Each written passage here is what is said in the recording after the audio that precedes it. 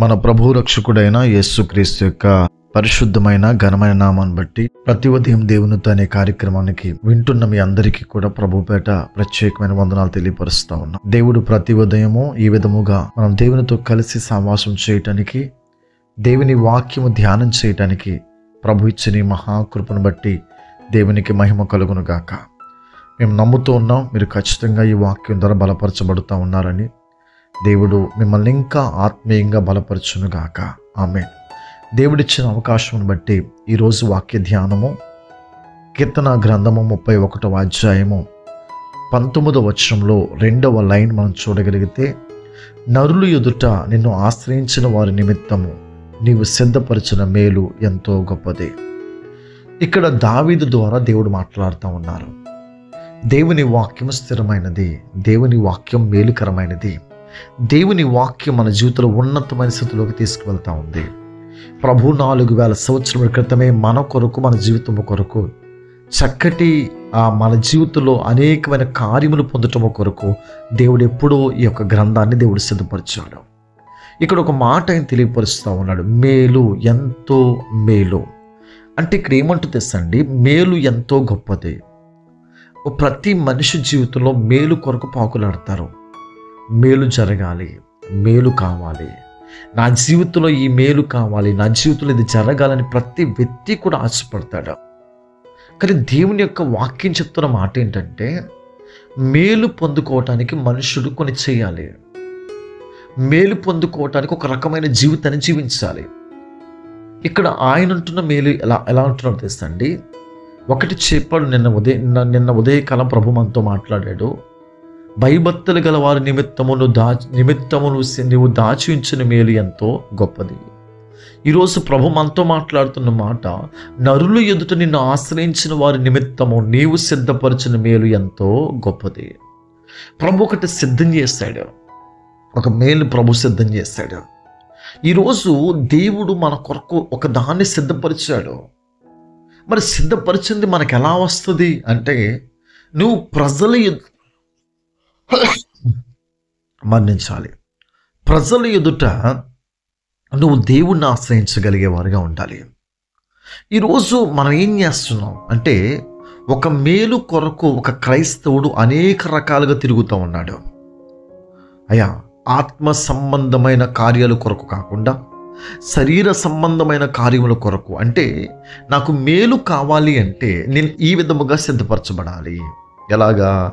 లోక సంబంధంగా. కానీ ప్రభు ఏం చేస్తాడంటే నరులు ఎదుట ప్రజలు ఎదుట దేవుణ్ణి ఆశ్రయించగలిగేవారుగా నువ్వు ఉండాలి.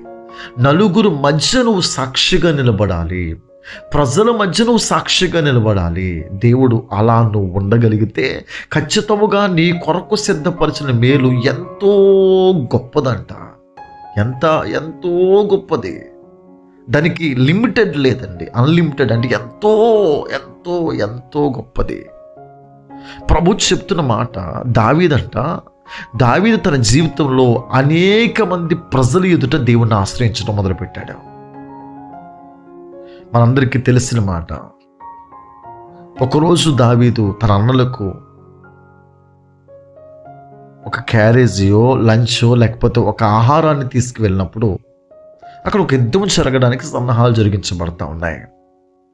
అక్కడ తన అన్నదమ్ములు ఆ ఆ రాష్ట్ర ఆ యొక్క దేశము సైన్యము సైన్యాధిపతులు యుద్ధవీరులు పరాక్రమశాలులు వీళ్ళందరూ కూడా ఒకరిని చూసి భయపడతా ఉన్నారు. అతని పేరే గొలియాత్. అతను చూసి వెనకడుగు వేస్తూ ఉన్నారు. ఈ ప్రజలందరూ కూడా గొలియాత్ని చూసి భయపడతా ఉన్నారు. దావిది వెళ్ళాడు. దావిది వెళ్ళినప్పుడు ఈ ప్రజలందరి ఎదుట దేవుడిని ఆశ్రయించాడు. అయ్యా ఈ ఫిలిస్యుడు ఈ గొలియాత్ ఇక్కడ చాలా ఇబ్బంది పడుతూ ఉన్నాడు. ఇదిగో నీ నామాన్ని అవమానపరచబడే విధముగా మాట్లాడుతూ ఉన్నాడు. నువ్వే నాకేదో సహాయం చేయాలి నువ్వే కార్యం జరిగించాలి అని ఒక్కసారి ప్రభు మీద ఆధారపడి ఆ ప్రజలందరి ఎదుట దేవుణ్ణి ఆశ్రయించడం మొదలుపెట్టాడు. ఎప్పుడైతే ఆయన దేవుణ్ణి ఆశ్రయించి దేవుణ్ణి ఎప్పుడైతే ఆశ్రయించాడో వెంటనే దేవుడు తన కొరకు దాచి ఉన్న సిద్ధపరిచిన మేలు ద్వారా వెంటనే గొలియాతు చంపడానికి దేవుడు సహాయం చేశాడు. తన జీవితంలో ఒక ఉన్నతమైన కృపచేత దావిదిని దేవుడు నింపాడండి. ఈరోజు నీ ఎదుటిన సమస్య నీ ఎదుటిన్న కష్టము నీ ఎదుటిన్న ఇబ్బంది నీ నువ్వు అనుకుంటున్నావు ఈ యుద్ధాన్ని జయించలేను. నలుగురితో చెప్తున్నా నా వల్ల కావట్లేదండి. నేను చేయలేకపోతున్నానండి. నేను ఈ అనారోగ్యం భరించలేకపోతున్నానండి. నేను ఈ రోగం నొప్పిని భరించలేకపోతున్నానండి. నేను ఈ అప్పులు భరించలేకపోతున్నానండి. నా పరిస్థితి చాలా ఇబ్బందికరంగా ఉన్న నలుగురు ముందు నువ్వేం చేస్తున్నావు? నీ బాధను వ్యక్తపరుస్తూ ఉన్నావు. దేవుడు అన్నాడు అదే నలుగురు ముందు నా దేవుడు కార్యం జరిగించగలడండి. నా దేవుడు అద్భుతాన్ని చేయగలిగిన వాడండి.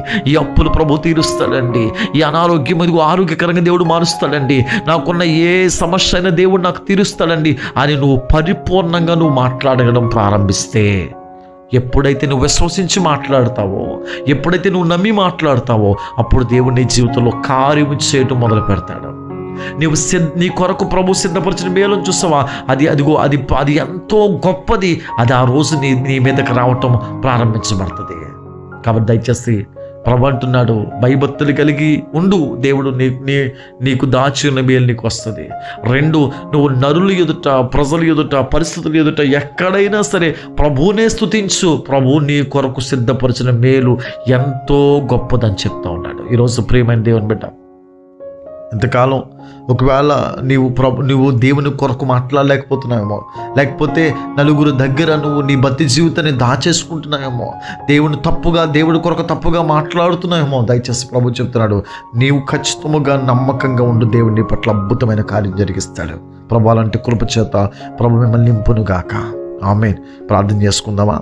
దయగల తండ్రి కృపగల తండ్రి సర్వాధికారి సర్వ సృష్టికర్తన దేవా నీకు వందనాలు నీవు ఇచ్చిన మహాకృపను బట్టి ప్రభా ఈ ఉదయకాలమే మేము మీ దగ్గర గోజాడే గొప్ప కృప మాకు ఇచ్చి ఉన్నారు. ప్రభా ఇంకో బిడ్డలు నాయన ఈ ఉదయకాలం అయ్యా ప్రార్థన లేక వేస్తున్న ప్రతి బిడ్డను బట్టి నీకు వందనాలు తెలియపరుస్తున్నాం ప్రభా. అయ్యా వారి వారి జీవితంలో ప్రతి పరిస్థితిలో కూడా నిన్ను మహిమపరిచే బిడ్డలుగా మార్చండి ప్రభా.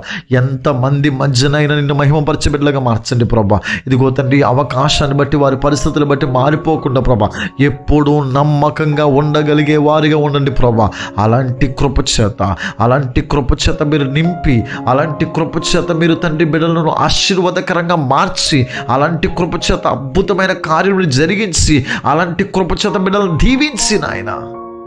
తండ్రి నాయన వారు ఎన్నటి ఎప్పుడు ఏ విధముగా అయినా నిన్ను స్థుతించే బిడ్డలుగా మార్చండి. వారి జీవితంలో ఉన్న అయ్యా తండ్రి వారి వారి జీవితంలో ఏదైతే ఉన్నాయో ఏ మేలు కొరకు ఎదురు చూస్తున్నారో ఆ మేలు వారు పొందుకునే భాగ్యాన్ని మీరు దయచేయండి.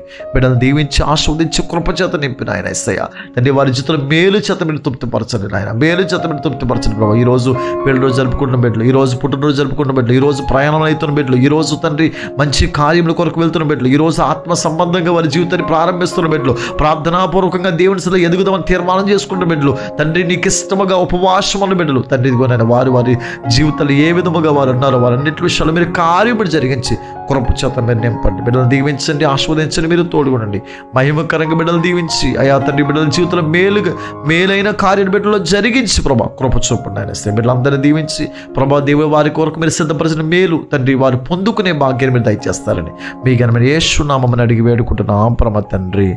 ఆమెన్. మీ అందరికీ మరొకసారి ప్రత్యేక వందనాలు తెలియపరుస్తున్నామమ్మా దేవుని వాక్యం వినండి బలపరచండి. మీతో పాటు అనేక మంది వాక్యం వినాలి అనుకున్నప్పుడు ఇది దీన్ని షేర్ చేయండి అనేక మందికి పంపండి. మన చుట్టాల్లో మన బంధువులు మన స్నేహితులు అనేక మంది దేవుని వాక్యం ఒకరికి ఎదురు చూసే వారు ఉంటారు. ఖచ్చితంగా వారికి పంపండి. వారి వాక్యం విని బలపరచబడతారు. దేవుడు ఒకవేళ మీ ప్రార్థన అవసరతలు ఉంటే మా నెంబరు ఆ యొక్క కింద ఉంది. మీ ప్రార్థన అవసరతలు బట్టి మాకు తెలియపరచండి. ఖచ్చితంగా మా ఆన్లైన్ ప్రేయర్లో ఉపవాస ప్రార్థనలో సన్నిధి ఆరాధనలో ఖచ్చితంగా మీ కొరకు ప్రార్థన చేస్తాం. దేవుడు మిమ్మల్ని దీవించి ఆశీర్వదించును గాక ఆమెన్. ప్రైజ్ లాడ్ ప్రభు మిమ్మల్ని ఉన్నతంగా దేవుడు దీవించును గాక ఆమెన్.